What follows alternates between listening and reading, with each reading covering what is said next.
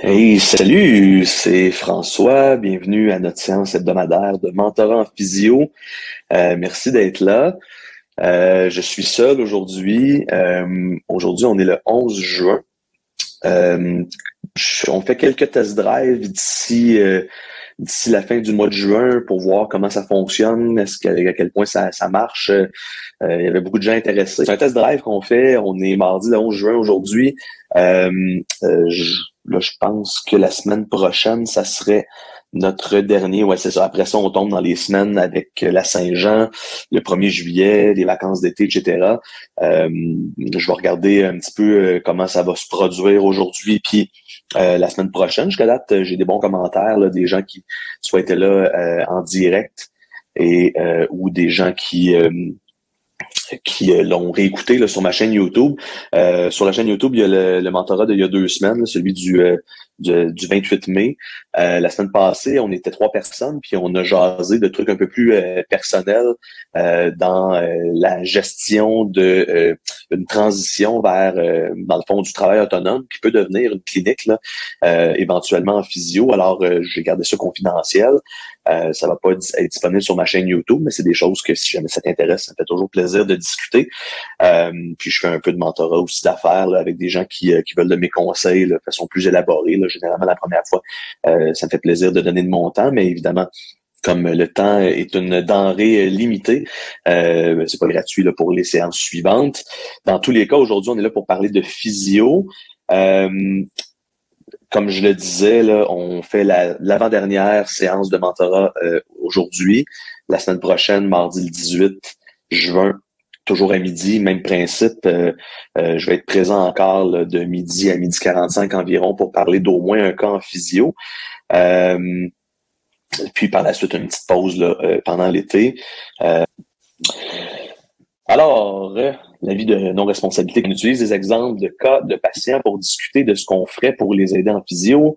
Euh, le contenu des séances de mentorat est destiné au développement professionnel et il doit être utilisé pour compléter et non remplacer ton jugement clinique et les directives établies par ton ordre professionnel. Même si on discute d'études de cas et de techniques, celles-ci sont généralisées et dépersonnalisées à des fins éducatives elles doivent être adaptées au cas individuel sur la base d'une évaluation professionnelle personnalisée. La participation à cette séance n'établit aucune relation directe entre nous et les patients dont on discute, entre moi et les patients dont on discute. Euh, les informations partagées ici sont basées sur les connaissances actuelles et peuvent évoluer dans le temps, donc assure-toi que ta pratique soit conforme aux données probantes et à tes responsabilités professionnelles. Cette session n'est pas, euh, cette séance plutôt n'est pas destinée au diagnostic ou au traitement de cas individuels. Elle vise à améliorer tes connaissances et compétences professionnel, moi, mes collègues et Mouvement Physio n'assumons aucune responsabilité pour les conséquences directes ou indirectes découlant de l'application des informations discutées ici. Pour ceux et celles qui viendront discuter de cas en direct, c'est super important de respecter la confidentialité. Aucun renseignement personnel ne doit être divulgué.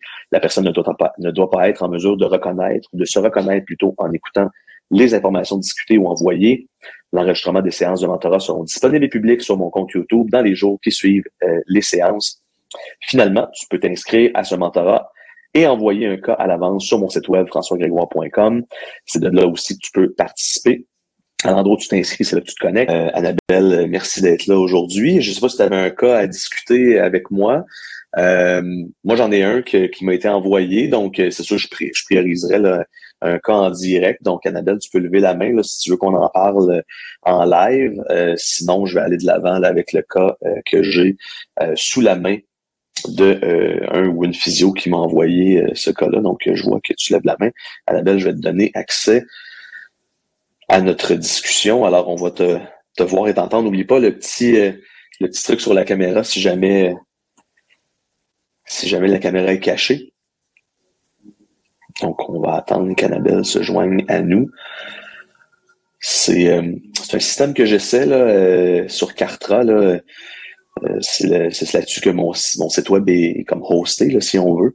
Euh, je trouve ça plus facile de faire passer tout ça par, euh, par cet outil-là que d'envoyer des courriels manuels avec le, lien Zoom. Mais c'est pas toujours automatique. Salut Annabelle. Tu m'entends, tu me vois? Je t'entends et je te vois bien. Ah, c'est bon. Fait qu'on est juste toutes les deux finalement? Ben, on est les deux, on est les deux pour l'instant. Bon, OK. Ben écoute, euh, ben, je, je, oui, je vais parler de, de certains cas qui me viennent en tête. Puis, euh, C'est parfait. On, on euh, en, en, toute intimité. Tu peux m'aider, ben oui. Ben, tu sais, je vais parler peut-être plus, je, peux, je vais dire plus les cas que j'ai au, au, privé, là, comme travailleur autonome. Tu sais, parce que j'ai jamais fait de privé. Fait que, tu sais, j'ai vraiment parti ça de, par moi-même un peu comme, comme je pense. Fait que, tu sais, bon, les évals, c'est tel que tel, que je sois en réadap ou au privé, c'est pareil. Mais, tu sais, ce que je trouve plus dur au privé, c'est que, tu sais, des fois, tu sais, en réadaptation, il y a un début, on fait des plans d'intervention, on voit la fin, puis il y a une fin au privé, tu sais, des fois, là, ils viennent, euh, tu sais, surtout, je trouve, tu sais, le périphérique, ça va bien, là, les épaules, les genoux, on dirait qu'il y a plus un début, une fin. Mais je trouve pour tout ce qui est rachidien, les, les, le cou, tu sais, on dirait, je les vois. Tu sais, souvent, bon, euh, trois, quatre séances. Là, tu sais, quand ça plafonne un petit peu plus, tu sais, je passe mes séances. Puis, tu sais, des fois, à c'est comme plus eux autres qui font OK. Puis là, bon, puis ils vont me rappeler, mettons, deux mois plus tard. Puis là, des fois, c'est bon. Tu sais, quand ça se rejoint, c'est correct. Je repars pas une éval initiale. Fait que, tu sais, je refais souvent un petit, euh, un petit sopi, mais sans tout détailler. Fait que, mais tu sais, ça peut durer longtemps, là, de même. Là, je vois ça, tu y en a, je fais comme, OK, tu sais, à un moment je me dis, OK, il faut que je refasse comme une éval initiale complète. C'est comment, comment vous gérez ça au privé, comme les, les suivis un peu, euh, un peu chroniques, là? C'est une et là je vais essayer de pas parler tout seul pendant la prochaine heure parce que c'est un sujet vraiment qui va bien au-delà de juste euh, l'évaluation d'une partie du corps puis d'un traitement. Euh, puis là j'essaie de trouver le, bon fil sur lequel tirer pour parler de ce genre de sujet-là. Mm-hmm. Ma première question ça serait euh, à quel moment est-ce que ton dentiste te donne congé à toi ben, moi j'y vois une fois par année. Mais c'est ça. Mais puis là, quand il y a des trucs à faire qui, qui durent plus longtemps, tu, suis un plan de traitement. Tu sais. Euh, c'est, c'est selon la selon les, euh, les données qu'on a, c'est 20 à 30% de la population qui a une douleur chronique. Euh, mm-hmm. puis c'est quoi une douleur chronique? C'est une douleur qui, euh, qui, euh, qui est invalidante sur plus de trois mois. Euh, fait qu'on a, on a dans la population entre une personne sur cinq puis presque une personne sur trois qui vit avec une douleur qui va durer au minimum trois mois. Et là, mm-hmm. ben là, après ça, c'est dégressif, là, mais on sait évidemment qu'il y, a beaucoup de gens qui vivent. Moi, moi j'ai des douleurs chroniques. Là. Je je sais pas toi, Annabelle, si tu as des, as des douleurs chroniques, mais je pense qu'après 35 ans, là, on y passe tout, on passe tout au cash un peu. Fait que je pense que c'est le plus, le plus important à la base, c'est de savoir qu'est-ce que la personne vient chercher.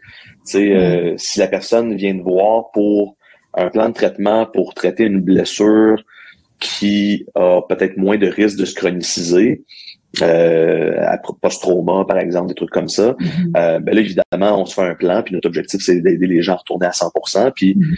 moi, ce que je leur dis aux gens, c'est moi, j'aimerais ça qu'on retourne à 100% évidemment quand je vois que c'est quelque chose qui est possible.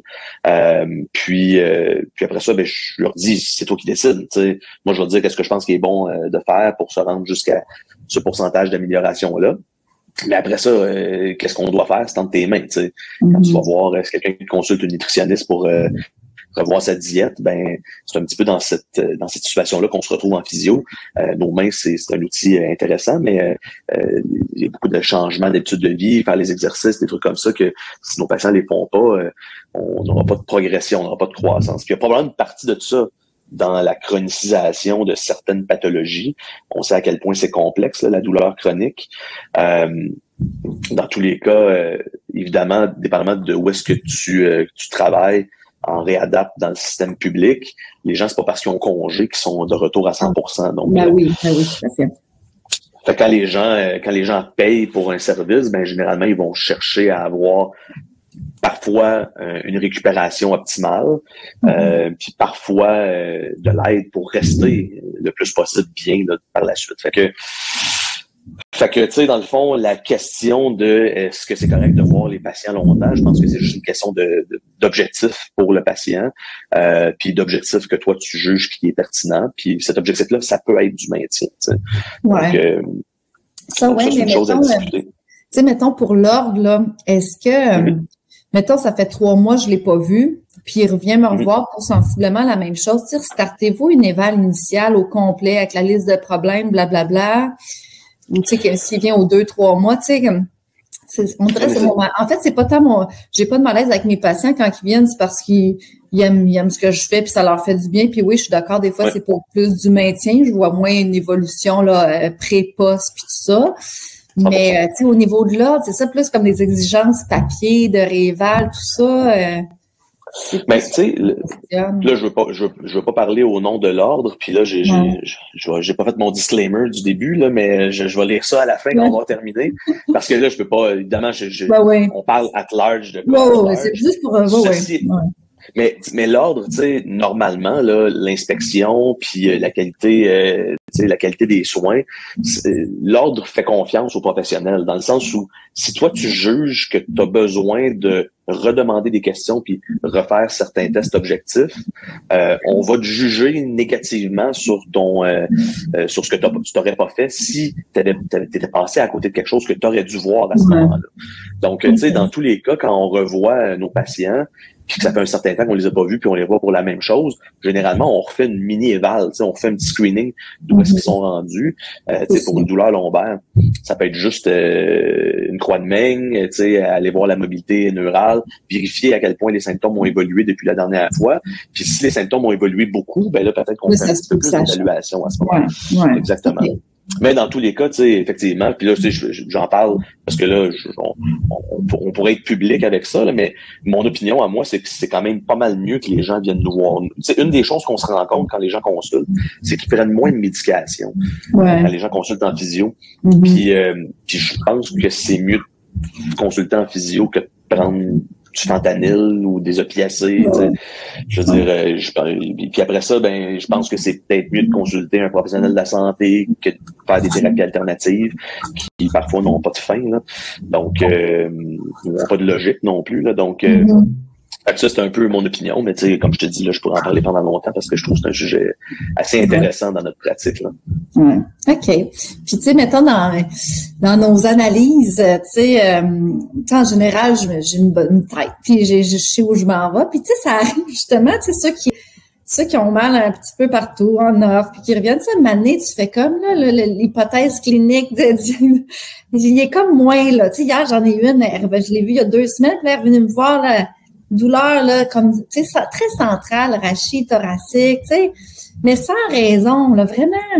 Puis là, le médecin voulait l'arrêter. Là, j'étais, rien, qu'est-ce que c'est ça, l'arrêter? Puis elle voulait pas, c'est correct, anti-inflammatoire, flexéril. Mais tu sais, je l'évalue, puis Colline, euh, je trouvais pas grand-chose, tu sais. Euh, finalement, j'ai fait, euh, tu sais, je trouvais ça un peu myofascial. Mais tu sais, des fois, je trouve nos analyses, je sais pas, en réadaptation, c'est comme je, mais au privé, je, suis comme, je, je suis comme, voyons, si moi, ou, tu sais, mais il semble que je trouve pas grand chose. Puis des fois, j'écris, tu sais, euh, tu sais, que j'ai peut-être pas le, le, le, le, diagnostic, tu sais, le syndrome un peu peut-être myofascial. Mais tu sais, je peux pas dire que j'ai le, mon hypothèse claire. Ouais. Ouais, t'as, c'est t'as probablement, puis là, je sais pas, t'es en, en réadapte en, c'est-tu les bugs en code neuro que tu travailles? Ouais, j'ai, euh, j'ai euh, bug, TCC léger, euh, chronique, puis amputé. Ouais, en gros, c'est ça. Bon, fait tu sais, dans le fond, c'est sûr que là, tu travailles des gens qui, quand ils ont eu leur incident, ils étaient en, c'était très, des soins très aigus, tu sais. Ouais. C'est des, euh, c'est, c'est des gens qui, euh, qui vont avoir des soins dans le système de santé publique compte tenu de la gravité finalement mm-hmm. de, de leur incident puis de leur pathologie. Euh, puis il y, a une prise en charge très médicale qui entoure ça aussi. Ce qui est, euh, puis là tu mets, tu mets le doigt sur quelque chose qui est le fun en privé, tu sais, mais quelque chose qui peut être challengeant pour les professionnels, c'est le fait que tu es souvent le, seul ou la seule intervenante là, dans le dossier de ton patient. Mm-hmm. Donc, quand la personne te consulte, ben, il n'y a pas nécessairement eu de trauma, donc c'est plus difficile de mettre le doigt n'y a pas toujours eu un trauma, là, c'est pas le plus difficile de mettre le doigt sur qu'est-ce que ça a été le problème. Puis les problématiques à ce moment-là, mais quand on tombe dans des douleurs qui sont un petit peu moins claires, elles sont souvent multifactorielles. Ouais. Ton, ta personne ta personne amputée, là, c'est, une conséquence d'une maladie ou bien c'est un accident. Mm-hmm. là, ça fait un petit bout de temps, là, j'ai pas fait euh, la, la, en, en, centre de, en centre de réadapte, mais de ce que je me rappelle, c'est, c'est une maladie quelconque, euh, ça peut être du diabète, ça peut être, euh, ça peut être un cancer, des tumeurs et compagnie, on ampute, ou euh, mm. c'est un accident la personne s'est amputée elle-même finalement dans l'incident mm. qu'elle a eu. Puis euh, là, on l'aide à récupérer de ce handicap-là, là, qui va être permanent à ce moment-là. Donc, euh, quand la personne te consulte avec une douleur, euh, mettons, le texte, tu parles d'une douleur thoracique qui euh, parfois peut être euh, euh pas claire. on n'est pas toujours capable de provoquer ces symptômes-là en clinique. des fois, la personne nous consulte et elle a toujours mal, mais là, elle a pas vraiment mal. Donc, c'est le principe. On parlait de dentiste tantôt, le principe de j'ai mm-hmm. mal à la dent, puis quand je rentre sur le bureau du dentiste, j'ai plus mal. Des choses qu'on peut voir. T'sais. Fait à ce moment-là, ben, c'est sûr que c'est une analyse qui, je pense que c'est des écoles-là qui sont les plus challengeants, là, parce que euh, contrairement, mettons, à ton entorse de ton entorse grade 2 à la cheville, ben, c'est sûr que tu sais qu'il va avoir un gain progressif mm-hmm. assez mm-hmm. usuellement sur les semaines qui vont suivre. Mm-hmm. Tandis que ta personne qui consulte avec une douleur plus ou moins claire en thoracique, ça peut être multifactoriel. Là, il faut s'assurer qu'il n'y a pas de red flags. On va clairer nos red flags. Euh, mais par la suite, qu'est-ce qu'on essaie de trouver, c'est c'est quoi les habitudes de vie de la personne qui peuvent maintenir ce genre de problématique-là? Fait que euh, ça peut être une posture maintenue prolongée, euh, ça peut être un manque d'activité physique, euh, ça peut être donc il y a un paquet de facteurs, il y a même des facteurs rhumatologiques qui rentrent dans la ligne de compte. Ouais. ouais. on j'y en ai parlé, mais ça fait comme en tout cas, ça fait moins de sens là. Ouais. Mais aujourd'hui, elle m'aurait écrit qu'elle allait super bien. Je dis bon, ben, coup oui, puis tu sais, des fois, c'est juste de créer, avec nos patients, c'est d'essayer d'aller créer un changement, mm. euh, un changement suffisant qui peut venir créer une amélioration au niveau des symptômes. Puis, tu sais, c'est pas parce que les gens ont de la douleur ou on dépasse cette limite-là que c'est bien compliqué de te retomber en dessous de cette ligne-là. Euh, mais évidemment, si c'était si simple, on serait trop, toi on serait riche, là, parce qu'on serait capable de régler le problème de, comme on disait tout à l'heure, 20 à 30% de la population. Mm. Fait je pense que dans, dans l'arbre euh, général de qu'est-ce qui peut amener des symptômes chez quelqu'un, des symptômes qui se chronicisent, qui sont là depuis plus longtemps, il ben, faut beaucoup regarder dans les habitudes de vie, euh, dans les habitudes posturales. Fait pour moi, en 2024, ça fait plus tellement de sens de travailler assis toute la journée. dans ce qu'on dans ce qu'on sait en termes de, de, à quel point ça a des impacts négatifs sur la santé physique. Euh, quelqu'un qui a un travail de bureau 35 heures, 40 heures par semaine. Puis en plus de ça, après ça, ben on mange. Puis des fois, on écoute Netflix, puis des fois, il fait pas beau dehors, puis on reste assis. Donc, euh, tu sais, faut, faudrait pas, ça serait plus logique en 2024 de, de, travailler 35 heures assis. Donc ça, ça peut être juste des, des petits conseils qu'on donne à nos, à nos, patients. Mm. Et il euh, faut rester conscient que si on est persuadé qu'il y a quelque chose qui doit être changé pour que la pathologie ou la douleur de la personne s'améliore, ben faut le dire aux patients. Euh, j'ai récemment eu euh, une, patiente que je suivais pour une douleur lombaire associée à une position assise prolongée. Euh, puis à un moment donné, ton base déborde tellement tout le temps que si on change pas ça, ce sera pas possible. Tu peux pas continuer à travailler 300 heures assis à toutes les semaines puis espérer que ta douleur chronique lombaire en flexion lombaire que tu as depuis 8 ans s'en aille. Clairement, quand tu travailles, tes symptômes augmentent à la fin de ta semaine, c'est pire. Et tu as perdu de la tolérance en lombaire, ça fait huit ans que tu as cette douleur-là, il faut créer un changement quelque part. Mm-hmm. Donc, les gens parfois cherchent des miracles. Malheureusement, on les a pas toujours. Le miracle, souvent, c'est l'effort qu'on y met, puis les résultats qu'on est capable d'avoir. Mm-hmm. Donc, ça, euh, c'est de trouver euh, qu'est-ce qui augmente les symptômes, qu'est-ce qui baisse les symptômes, puis quels facteurs peuvent contribuer au maintien de ces symptômes-là, dans la mesure de ce qu'on est capable de comprendre, puis sur quoi on est capable d'agir en 2024. Euh, parfois juste de changer la dynamique dans la région, ça aide aussi. Oui, Ouais, ouais. Ouais, c'est un peu tout ça que je fais. Là. Ouais. puis, tu sais, je veux dire, dépendamment de, dépendamment de la personne puis sa pathologie, tu sais, là, je te parlais, mettons, de ma patiente qui a mal au dos depuis huit ans, mais c'est pas en deux semaines qu'on peut changer ça. Là. Euh, on, on, connaît les impacts euh, assez rapides, là, positifs, par exemple, de, de d'exercice, mais on sait que c'est pas des impacts qui ont un lien au niveau tissulaire, c'est plutôt un, des impacts au niveau du système nerveux.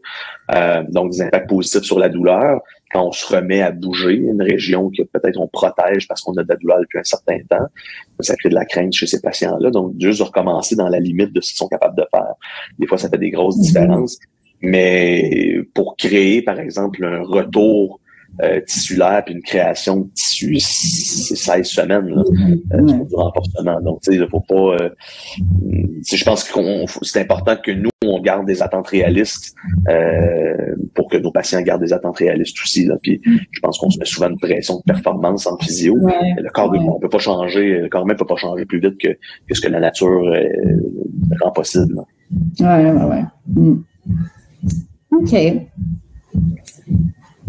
Sinon, écoute, j'avais dit autre chose. As-tu des, as des, cas en particulier euh, desquels tu veux jaser, Annabelle? Ben, ben oui, peut-être. Euh, mettons, euh, tu sais, souvent, tu sais, des douleurs, style, tu sais, c'est 4, c'est 5, là, région scapulo-thoracique, haute, là, cervicale basse. C'est honnêtement, moi, j'ai, j'ai mes aiguilles, puis ça a comme changé ma pratique. Je me dis, hey, qu'est-ce que je ferais si j'avais pas mes aiguilles? Je trouve souvent, je trouve c'est une belle porte d'entrée là, quand j'ai ce genre de, de, de, de, douleur-là. Mais tu sais, souvent, ce que je trouve, c'est, euh, tu sais, mettons, je vais travailler en traitement manuel, mettons de l'ouverture. Puis je trouve que souvent, l'ouverture, ça change pas grand-chose. Puis là, quand j'essaie d'aller dans la fermeture, hop, là, euh, j'irrite mon patient. C'est pour ça que je trouve que mon aiguille est donc utile. Mais euh, tu sais, toi, comment tu gères ces, ces, ces cas-là? Ben, tu sais, mettons, on pourrait prendre un cas, euh, on pourrait s'inventer un cas d'une douleur cervicale, à moins que tu quelqu'un de spécifique de, quel, de qui tu veux discuter. mais sinon, tu sais, on peut, on peut parler de quelqu'un qui consulte avec, parce qu'il y a plusieurs types de, de symptômes là, qui peuvent venir de la région cervicale. Euh, puis les symptômes en cervicale euh, peuvent descendre dans le bras. Donc, tu peux avoir, tu, sais, tu peux avoir une cervicobracalgie. Mm-hmm. euh, tu peux avoir des gens qui, euh, qui consultent avec une limitation de mobilité au niveau cervical. Mm-hmm. Euh, puis ces gens-là euh, peuvent être souvent on les voit limités dans des rotations, dans une rotation parfois plus souvent dans un côté que dans, dans une direction versus l'autre. Donc, euh, donc là, évidemment, notre traitement ou comment est-ce qu'on va aborder euh, euh pour le traitement avec ces gens-là va, varier d'une pathologie spécifique à un humain et d'un humain à l'autre finalement. Puis de pourquoi est-ce que c'est présent? Chez des gens plus âgés, on voit des phénomènes d'arthrose en cervicale, on peut voir n'importe quelle articulation, on peut avoir une perte de mobilité. Fait que le classique, euh, mon monsieur qui joue au golf, qui est de la misère à jouer au golf parce que sa tête tourne pas assez. parfois, on est capable de les aider, ces gens-là, à aller rechercher de la mobilité dans cette direction-là. Je pense qu'il faut pas avoir peur d'aller d'aller travailler la mobilité dans une direction de rotation. Ouais, exactement. Avec des petits étirements des trucs comme ça qui font en sorte que on va aller augmenter notre mobilité en rotation, euh, puis évidemment, après ça, ben, c'est des gens qui doivent le maintenir. Là, mon monsieur de 65 ans qui a perdu euh, beaucoup de rotation cervicale, ben, lui, je vais lui demander de continuer ses exercices après ça. Je vais lui dire si tu les fais pas, mais tu vas venir me voir. Puis c'est super qui arrive. Euh, mais euh, dans tous les cas, souvent des gens qui sont moins irritables, là, dans, à moins que ça soit comme une, une phase aiguë, des gens qui sont souvent moins irritables, on est capable de les traiter en extension cervicale, dans nos rotations, dans nos, dans nos, dans nos facettes, dans nos articulations Z, si on veut. Euh, des gens qui sont plus irritables, ben là, c'est ça. On va avoir des gens, par exemple, qui vont avoir des, euh, des symptômes aigus de cervicalgie ou cervicobrachialgie. Et euh, quand on a une perte de rotation, par exemple une pression latérale d'un côté, euh, en cervical, ce qu'on semble penser en ce moment dans, la littérature, c'est qu'on va être plus efficace à aller traiter dans la direction euh, problématique. Donc, ce qu'on voit en lombaire, parfois, là, notre direction problématique, en flexion, on va aller traiter dans du style mécanisé en extension, diminuer les symptômes, diminuer la douleur. Bon, on n'est pas trop sûr de pourquoi ça fonctionne, mais en tout cas, ça a un impact aussi. Donc, chez bien des gens. Euh, en cervical, je pratique. Là, ce que je dis, c'est pas nécessairement ce que je fais en pratique, mais ce qu'on voit dans la littérature en ce moment, c'est que si on travaille dans la direction problématique, donc si j'ai une, si une diminution de rotation dans cervicale, par exemple, ben, normalement, je devrais aller directement dans cette direction-là. Mm. Euh, tendance à essayer d'aller soulager qu'est-ce qui se passe au niveau du membre supérieur, en travailler en ouverture ou en flexion, un peu comme ce que tu disais tout à l'heure, mm-hmm. euh, jusqu'à ce que j'ai euh, une résolution des symptômes suffisante supérieure ou jusqu'à ce que je plafonne un peu là, dans mm-hmm. mes résolutions des symptômes puis que je pense qu'on serait prêt là, à essayer quelque chose de plus difficile, entre guillemets. Donc, c'est à ce moment-là que euh, moi, je vais faire un, je vais faire un, petit bout de chemin vers, euh, vers mon, mon côté problématique qu'on doit adresser si on veut aider la personne mm-hmm. un peu comme des gens qui nous consultent en lombaire, puis une fois qu'ils vont mieux, qui ont fait de l'extension, ben, il va falloir aller pratiquer la flexion, sinon on ne va pas récupérer nos capacités à ce moment-là. On va rester avec un risque de blessure. Donc, il euh, faut trouver des solutions pour aller tranquillement dans ce qui est problématique, qui pourrait être évitable. Fait que, comme tu le dis, Annabelle, souvent, effectivement, la, la flexion ou l'ouverture va être plus confortable, l'extension, la fermeture va être parfois un peu plus irritante. Euh, fait faut trouver des fois juste des petites façons d'aller euh, dans des petits mouvements ou dans des, des, petits grades de traitement en thérapie manuelle ou même euh, de donner des petits exercices super simples aux patients quand ils sont un peu plus irritables. Ben, moi, je vais leur dire, ben, si ta limite est ici, on veut juste aller la toucher puis on ressort de là. Mm. Juste un petit, euh, euh, ça peut être quelqu'un qui a des symptômes qui vont descendre un petit peu vers l'épaule. Ben, juste d'aller chercher un petit peu de mobilité, ça peut être de répéter souvent dans la journée des petites rotations, mm -hmm. de protéger dans le reste de la journée dans un contexte où on est encore en écu, par exemple. On ne veut pas remettre le feu dans le problème constamment. Là. Ouais. Euh, là, faut toujours s'assurer de tout le reste, que les patients eux-mêmes ne remettent pas le feu euh, dans leurs problèmes non plus. Là. Euh, donc, euh, on essaie de leur apprendre qu'est-ce qui pourrait être problématique euh, pour ceux et celles qui ne se rendent pas toujours compte qu'ils sont en train de se faire mal. Là. Fait que ça, euh, c'est vraiment c'est d'y aller doucement, mais d'être conscient que c'est ce genre de pathologie euh, euh, qui peuvent être un. Tu sais, des fois, ça va évoluer un petit peu moins rapidement là, que euh, euh quand on parle de cervicobrachialgie, si on a quelque chose de nouveau de la racine, quelque chose de discal. Ouais. Euh, faut être patient avec ça. Ouais, ouais. C'est dans les radiculopathies, là, euh, c'est quand même qu'il y ait une qui est aiguë. C'est quand même recommandé pour ça un petit peu d'anti-inflammatoire, hein, je pense. Pour le côté ben, aigu. Oui, ben, tu sais, ça, ouais, c'est partie des outils qu'on a, là, tu sais, l'anti-inflammatoire, même si euh, dans la. Ouais c'est rare qu'on dit ça, mais je pense que pour la radiculopathie, je pense souvent que ça, ça, ça aide à comme diminuer le, le feu du début, là. Oui, ben tu sais, c'est parce qu'on peut toujours isoler nos outils puis après ça les critiquer puis dire ben tu sais c'est vrai que les anti-inflammatoires euh, c'est pas nécessairement bon pour l'estomac, c'est pas nécessairement euh, une bonne chose. Si on a le choix de pas en prendre, de ah ouais. pas en prendre, c'est un facteur de chronicité si on en prend à long terme, etc. Mm. Mais c'est un outil qu'on a, tu sais. Et puis là, ben, dans le fond, dans la balance, on met toujours les choix qu'on a quand on est, tu sais, moi, j'ai une, une, douleur à 8 sur 10, qu'on vient de me dire que je peux pas prendre de Advil, euh, tu sais, je, je, je, vais essayer de me gérer dans mes symptômes mm. pour essayer de sortir un peu de cet état très inflammatoire-là, très douloureux, pour lequel, de toute façon, quand on voit ces patients-là en clinique, il n'y a pas beaucoup de la part de leur renseigner des premiers soins. On peut pas les toucher, il n'y a pas grand-chose qui peut être fait, la douleur est très aiguë. Donc, euh, ça m'arrive, là, tu sais, de proposer à mes patients de traverser l'autre bord de la rue puis d'aller voir le pharmacien ou la pharmacienne. Euh, puis après ça, ben là, je délègue cet acte-là, là, cet acte qu'on devrait mm-hmm. avoir euh, directement le droit de faire. Mais on délègue cet acte-là à nos euh, collègues les pharmaciens pour qu'ils puissent se faire juste donner du naproxène qui est maintenant même disponible en vente libre, par exemple, ou, ou de l'ibuprofène. Euh, bon, c'est que l'ibuprofène, la posologie est souvent, même avec le naproxène non plus, est souvent pas assez élevée pour les gens qu'on voit là, quand, dans ce qu'on voit comme posologie sur la petite boîte, mais on peut dire aux gens de prendre comme ce que le médecin pourrait recommander euh, le pharmacien peut le recommander aussi. Donc, euh, donc oui, c'est sûr et certain que dans un cas aigu, normalement sur quelques jours, euh, on devrait, on, peut avoir des bons résultats en termes de réduction de symptômes grâce aux anti-inflammatoires. Puis encore une fois, est-ce que c'est mieux ça ou se ramasser sur euh, d'autres opiacés parce qu'on n'est plus plus capable de, gérer notre douleur, on se ramasse à l'urgence de l'hôpital, puis on se fait prescrire euh, euh de, des médications qui est plus fortes par le médecin. Si on est capable de gérer tout ça avec quelque chose qui est moins puissant, il y a moins d'effets adverses potentiels, surtout sur une courte période pour une médication comme les anti-inflammatoires. Mm-hmm. Donc, ce qui fait du bien aux gens, tu sais, on le met dans la balance, on voit le, la, la, quantité de risque qui est associée, puis euh, ben, si les risques, si, si, le bénéfice dépasse le risque, ben, ça peut être une intervention qui est considérée. Les anti-inflammatoires en font partie. Est-ce que après ça, ben, il faut que je continue à, à, faire mon travail ou mon sport, tu sais, ça, je n'apprends rien, là, Annabelle, quand je te dis ça, là, mais mm-hmm. les gens vont se médicamenter pour pouvoir poursuivre puis pas faire de changement dans leur vie. Ben, tu sais, nous, on peut pas le faire pour les gens, mais notre rôle, c'est de leur dire c'est pas les risques associés à ça, tu sais. Ouais, se faire la cortisone à l'épaule pour continuer à faire telle affaire. Ça, ça, devient, ça devient un, un, risque de chronicité puis un risque de récidive à ce moment-là. Mm, mm, mm. Sinon, mon Dieu, j'avais, pas tant d'autres choses. As-tu des, des, des, T'as-tu des cas? J'ai des cas. Là, ouais. j'ai un cas, j'ai un cas écrit, là, fait que je peux, je peux le lire, puis on, peut, euh, on peut en discuter ensemble. Ouais. Euh, c'est un cas que j'ai reçu il y a quelques jours. Alors, euh, en général, les symptômes que j'ai dans le membre inférieur provenant, là, je le lis pour la première fois, là, fait qu'on peut en discuter ensemble. euh, provenant du nombril sont surtout douleurs et parfois paresthésie, que je centralise beaucoup avec l'approche McKenzie en cas de dérangement, ou bien sous forme de gestion, systénose, mobilité neurale, etc. J'ai pas eu souvent de cas soupçonnés de compression radiculaire. Donc, ce que je voudrais dire, par exemple, dans ce cas, c'est des symptômes neurologiques. Mm. Euh, mon patient a une douleur lombaire avec symptômes à la fesse et mollet. Mais ce qui m'embête beaucoup, c'est sa boiterie.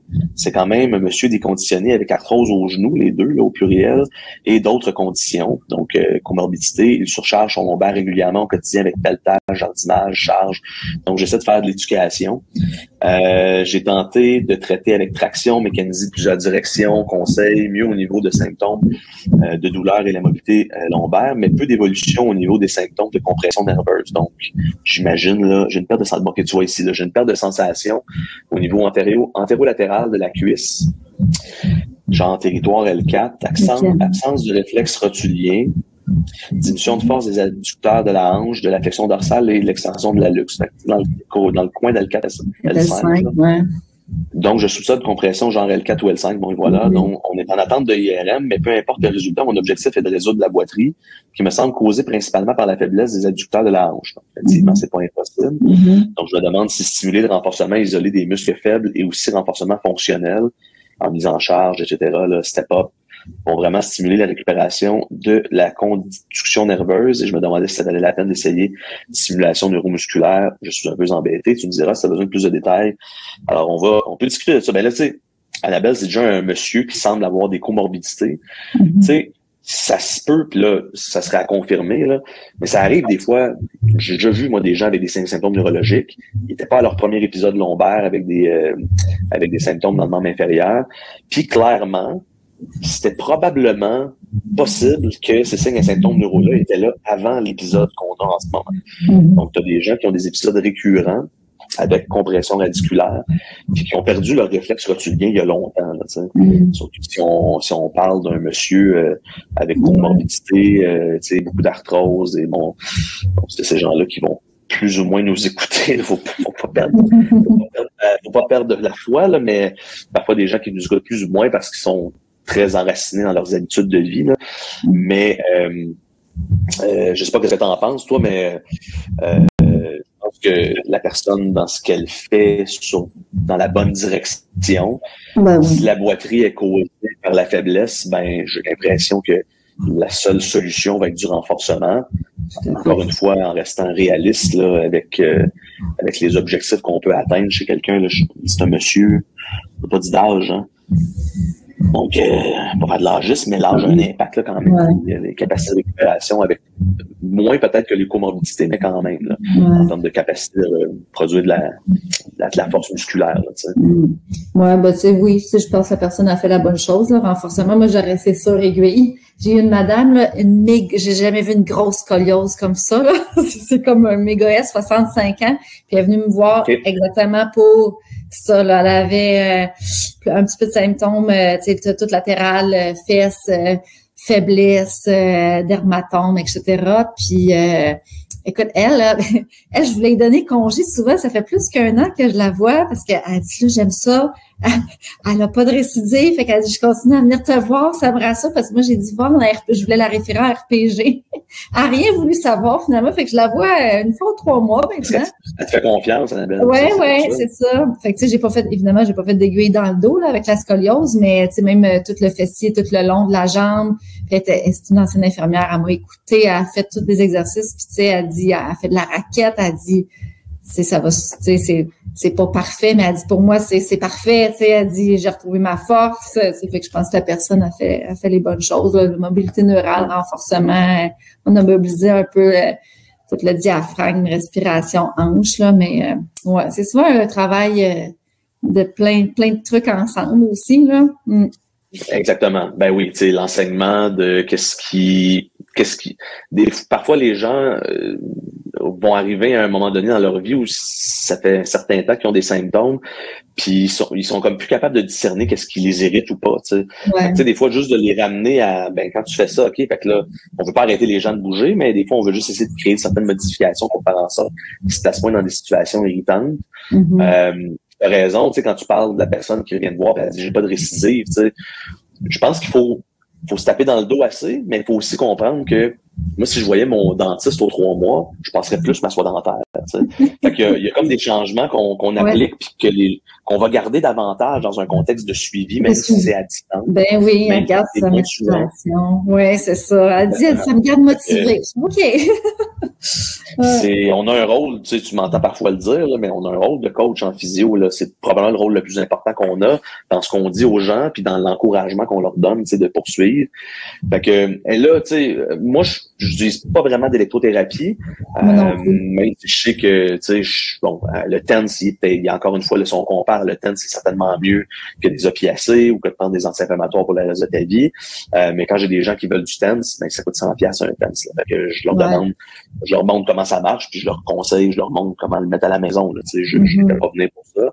Euh, bon, la stimulation neuromusculaire peut avoir euh, certains impacts. Je pense que, puis tu sais, je suis pas un expert là-dedans, mais j'ai l'impression que ça va surtout être efficace dans des cas de muscles qui ont pas de contraction, une contraction qui va être sous 1, là, si on veut, le proche de 0. Ou en bas, ouais, ouais, en bas de 3. Je pense qu'après, à 3 sur 5, euh, je suis pas sûre à quel point, le, ben, à quel point c'est. Parce que, parce que ta gravité va nécessairement avoir plus d'impact qu'une contraction. Ben oui, c'est ça, ça. Je sais pas si tu as une plus-value, tu sais, de, de, de mettre le, le, le, le stimulateur, je sais, je sais pas. Hmm.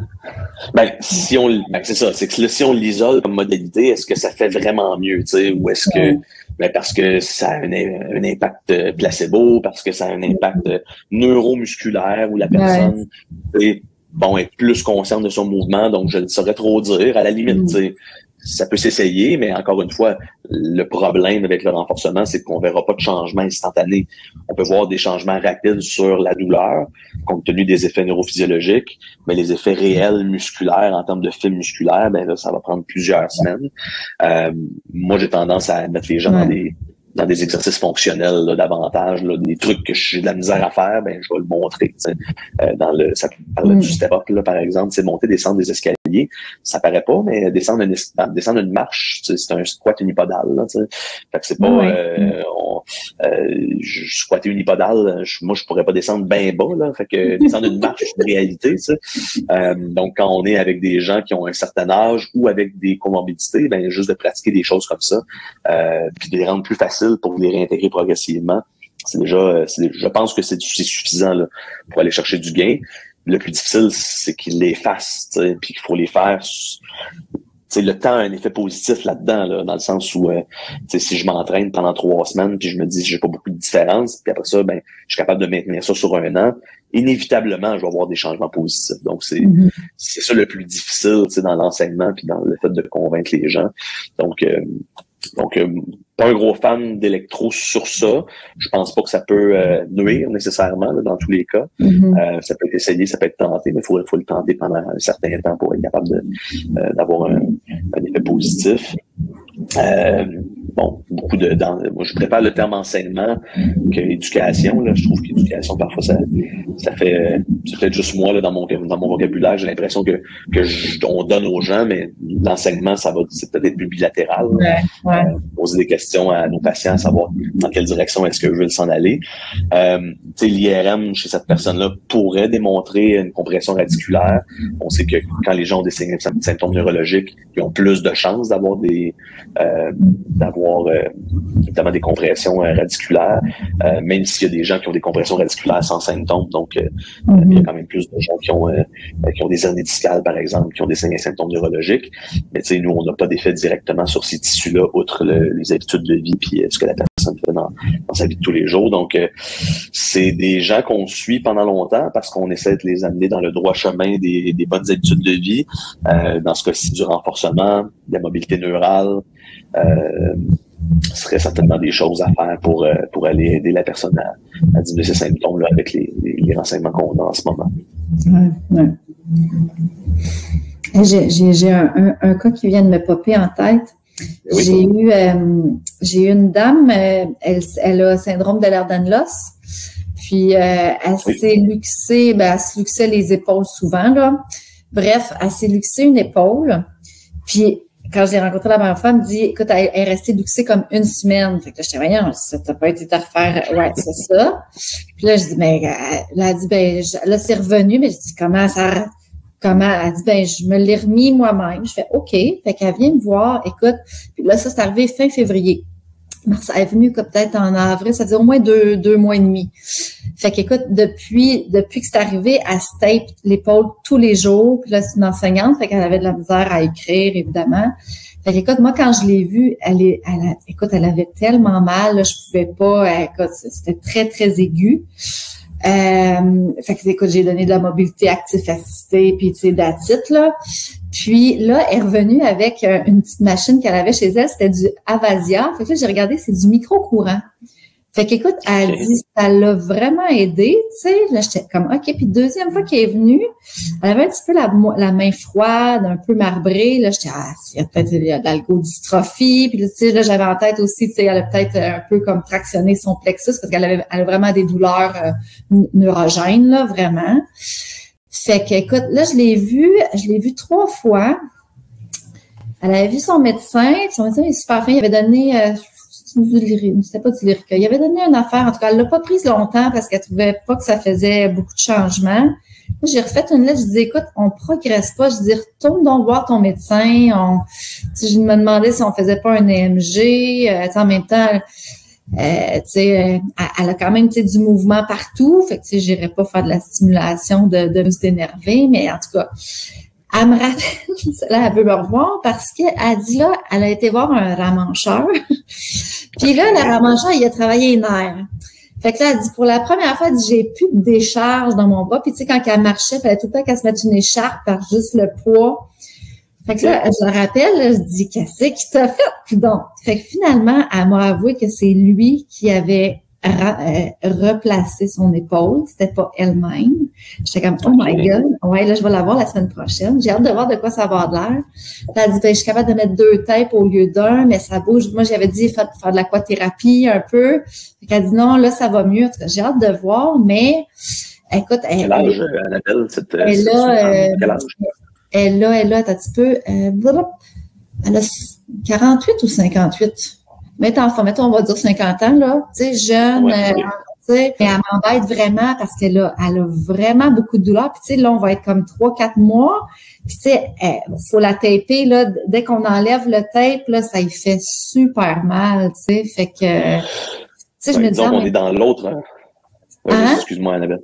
Vas-y. Euh, ben c'est ça, fait que puis je me dis faire un EMG, tu sais, à bouge, c'est sûr que mm. là, tu sais, tu sais, en plus elle a eu, elle a, elle a c'est ça, elle a eu une arthro-IRM, c'est vrai. Avant de me voir au tout début, elle avait eu une arthro-IRM. Il n'y a rien qui se Comment? Ils n'ont rien vu. Ils n'ont rien, vu de particulier. Sauf un petit émoussement là antéro-inférieur. Mais, mais puis tu sais, l'alignement est correct. Puis tu sais, moi c'est clair quand elle monte là ici, pour moi je suis un abutement, ça y fait mal. Fait que je suis comme aïe aïe, tu sais, c'est pour ça que j'étais un peu au dépourvu. Je dis là, retourne voir ton médecin. Je dis, je, je, je te ferai pas venir ici pour euh, rien, tu sais.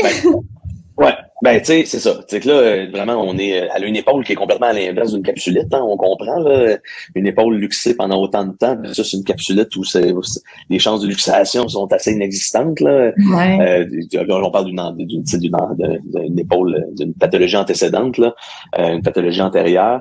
Euh, tu sais, c'est sûr qu'avec ce que tu me décrivais avant de me dire qu'elle avait eu un examen à l'épaule, tu sais, là, tu m'as parlé de, de qu'il y a eu à un moment donné la main, la main qui changeait de couleur, etc. Bon, mais malgré malgré le fait qu'elle bougeait et compagnie, c'est sûr qu'on aurait pu penser qu'il aurait pu avoir une traction euh, au niveau du plexus, au niveau mm-hmm. des vaisseaux sanguins dans cette région-là.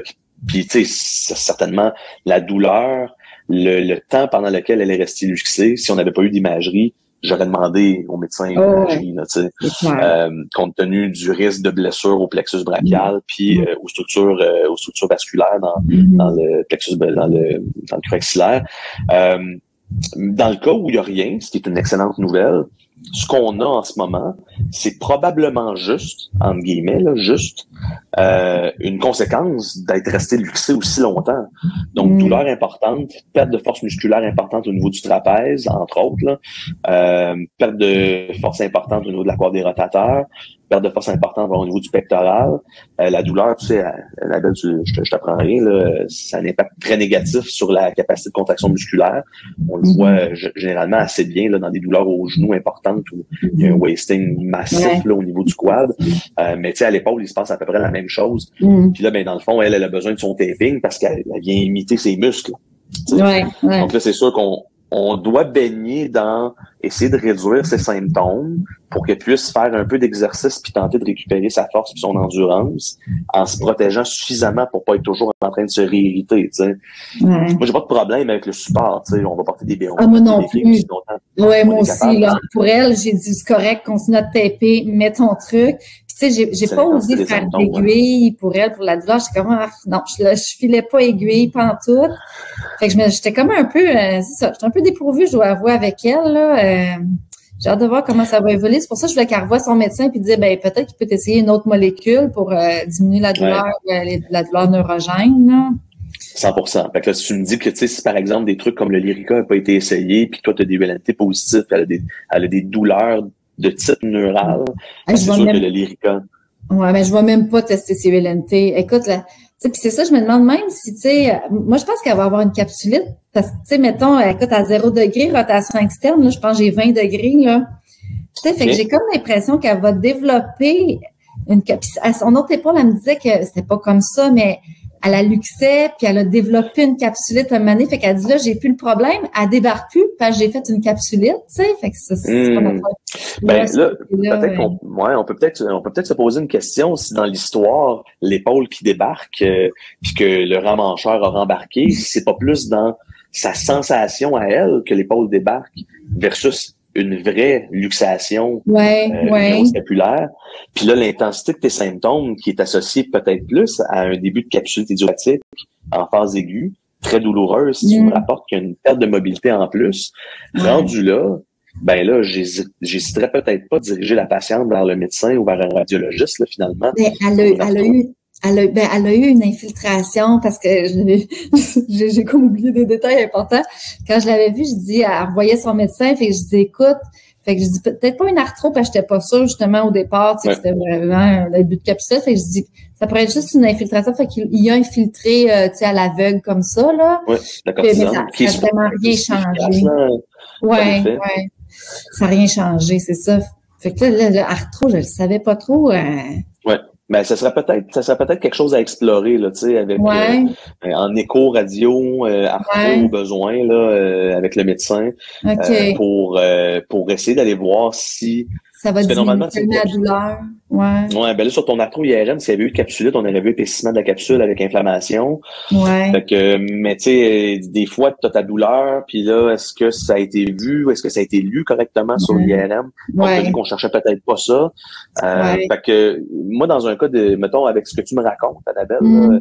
On irait peut-être effectivement dans, ça m'empêcherait pas de voir la, patiente puis essayer de au moins de mobiliser puis de maintenir qu'est-ce qu'on a, là. Ouais. Euh, mais euh, je m'en irais peut-être effectivement dans une direction de, euh, médecin, radio, euh, écho avec arthro au besoin là, pour euh, pour voir si, tu sais, parce que là, techniquement dans la littérature, tu sais, quand tu infiltres de la cortisone dans la face, là, c'est systémique, là, ça se promène partout dans le corps. Là. Fait qu'on n'a pas nécessairement toujours besoin de l'infiltrer directement dans le tissu. tu sais, les protocoles d'arthro distancés, c'est des infiltrations de cortisone à l'épaule, euh, sous scopie, là, tu sais, fait que sous, euh, euh, sous, écho plutôt. Là. Donc, mm-hmm. c'est sûr et certain qu'on qu'on est peut-être plus dans la région où on pourrait avoir un potentiel, une potentielle inflammation au niveau de la capsule mm-hmm. articulaire de l'épaule. Fait que je garderais ça en tête. Puis, ben, étant donné que les trop distancés sont surtout efficaces, euh, même s'ils sont plus nécessairement distancés, mais sont surtout efficaces dans la partie aiguë. Euh, puis si on écoutait Marjorie Gingras, ben on n'en ferait qu'une seule. Euh, les patients, quand ça leur fait du bien, souvent en veulent plusieurs parce qu'on peut les comprendre dans la gestion des symptômes. Mais que commencer avec une pour voir euh, ce que le radiologiste fait sur une échographie, euh, puis l'impact que tu pourras avoir avec une arthro euh, plus spécifique à la région, là, si on veut. Ouais, ouais. j'ai hâte de voir. Je pense que c'est vendredi, je la vois. Ouais, j'ai hâte de voir. que, bon suivi, bon suivi, mais oui, c'est sûr que si elle s'embarque dans une capsule isopathique, ben là, on sait qu'on en a pour un petit bout. Fait que on encourage les gens, puis on leur explique qu'on on a un taux de succès élevé en résorption. Elle, elle a déjà un exemple. C'est sûr que si elle a déjà eu une capsule d'un côté, on sait qu'il y a plus de chances qu'elle en fasse une de l'autre bord, dans un contexte inflammatoire. Alors, alors on, se, on lui souhaite, ben, en fait, il n'y a pas besoin de chance. Si elle fait les bonnes choses avec toi, ça va bien récupérer. Ouais, ouais, ben ouais, la, patience et la persévérance qu'on a besoin d'avoir. Là. Ouais, exactement. Bon. Fait Annabelle, je, je, vais te laisser aller, puis je vais faire mon petit speech de, de euh, de d'avis de non-responsabilité des cas qu'on ah a discuté en ce moment. Puis, euh, non, il m'a dit toi, ça, là. ben, c'est pas juste, en fait, c'est pas nécessairement pour toi, parce qu'avec on discute mm. ensemble, mais ça c'est pour n'importe qui qui applique ça. Ah, ouais. Ça fait plaisir d'en discuter, mais euh, on m'a suggéré de me dégager ah, oui, de la responsabilité des, des actes. Alors, euh, puis euh, ben, tu m'as donné des nouvelles de, te, de, tes, de tes patients. Excellent. Euh, t'es correct, es correct si je mène notre conversation sur ma chaîne YouTube, Annabelle? Oui, oui, ça me dérange pas. Ouais. C'est parfait. Bon, ben, on se reparle. Merci beaucoup d'avoir été là. Puis, si tu veux, on, est, je suis encore là la semaine prochaine. Excellent. Bon, ben, merci beaucoup. À bientôt, Annabelle. Salut. Bye. Merci d'avoir euh, m'avoir écouté, que ce soit en direct ou en différé sur ma chaîne YouTube. Euh, on se parle pour la dernière fois, comme je le disais tout à l'heure, avant l'été, la semaine prochaine, mardi prochain. Par la suite, une petite pause et je serai de retour en septembre. Bonne journée.